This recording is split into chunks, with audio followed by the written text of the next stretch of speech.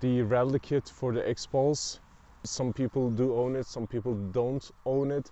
Some off-roaders do prefer it and some do not. Now I'm gonna be explaining you the reasons that I bought the rally. Now the first thing first, I'm tall. Now without the rally this motorbike just stands way too short. Now with the rally I know it is taller, but it's a lot more comfortable to ride because when I sit on it,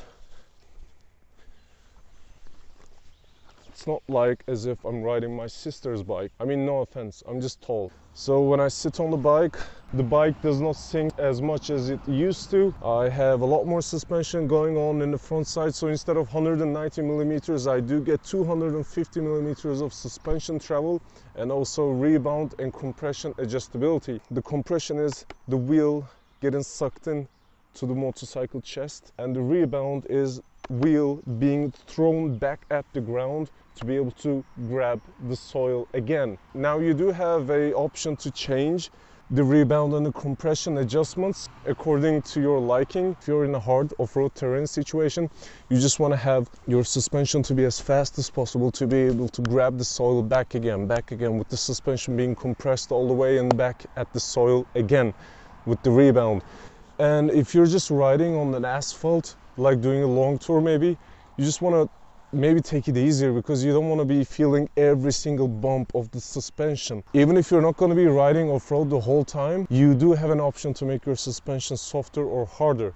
Now with the rear suspension, instead of 170 millimeters of suspension travel, now you have 230 millimeters. With the stock suspension, we did have the preload adjustability that makes the suspension compressed, so it's, it practically makes it harder for the rear to bounce. And on top of that you have an option to make the rear suspension softer or harder. So as you can see with the suspension you do have quite a lot of adjustability now. And apart from that kickstand i mean it's just taller. But what i have realized is it's the same material as the older one and it's the same thickness. Now my older kickstand was not very strong so i had my, like a welding support to make it thicker and stronger because I did bend my kickstand once. Now this is the same material.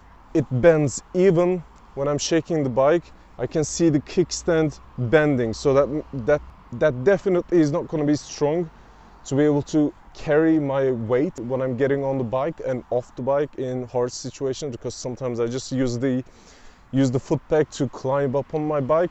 It's definitely not going to be strong enough to hold me for a long duration of time and also not going to be strong for me to load my bike with my luggage. When when you have your luggage loaded you add a lot of weight to the kickstand so it occasionally bends. Since this is the rally kit and i cannot just get a center stand i might have to just see halil usta again and maybe ask for like a stronger kickstand. Alright, so the reason that I bought the rally is first, I'm tall and I'm quite heavy. I'm like more than 90 kilograms. And my height is one 193, so I'm quite tall. I'm like two meters long, almost. The first reason being, when I'm riding my bike, I wanted it to look a lot taller as me because it just seemed small for my body. I mean, I was able to ride it comfortably. I'm not saying if you're tall, you're, you cannot ride this bike. This is one of the, the most affordable, the most variant, like off-road and commuting friendly, cheap to ride motorcycle that you can ride with a tall body because it's, it's comfortable. The,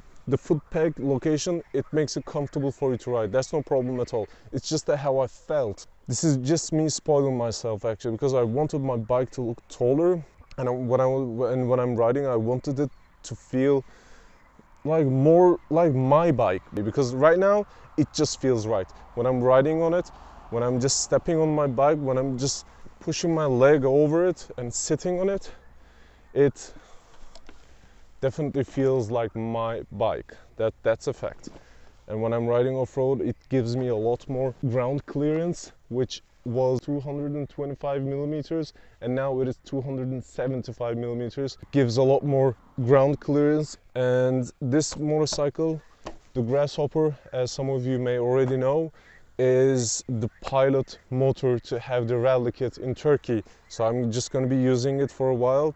And in a short period of time, Önder Motor, the flagship dealer in Turkey, will be making like an announcement, make like an event where they're going to be showcasing the four valve Xpulse 200 and also the rally kit. All right so this was me and my like my first impressions about the rally kit. So far so good. It feels it feels quite comfortable on the pavement and hell feels so fun on the off-road so i'm just glad that i have installed it.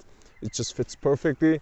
And one small detail you must have realized that i don't have the rally kit seat installed. The reason is i mean i do take the bike on off-road occasionally but usually I commute and also I do take it to long tours. So I went to Önder Motor and they installed my rally kit and here's how we did it. Enjoy the video. Just do let me know if you have any comments about the rally kit and I will be more than happy to answer your questions. Ride safe and keep on riding.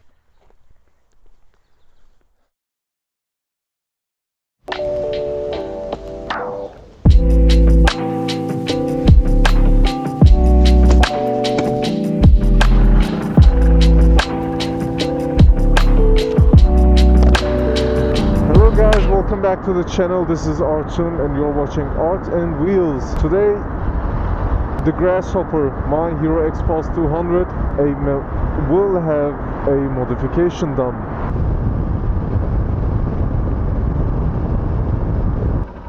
Alright, so that's the place where I'm gonna have my rally kit fitted on my bike. It is the flagship store of Hero Xpulse 200. It has probably the best service in the whole world, and I'm not exaggerating. They do provide service 24 7, and they have the best mechanic and the service you can probably ever find.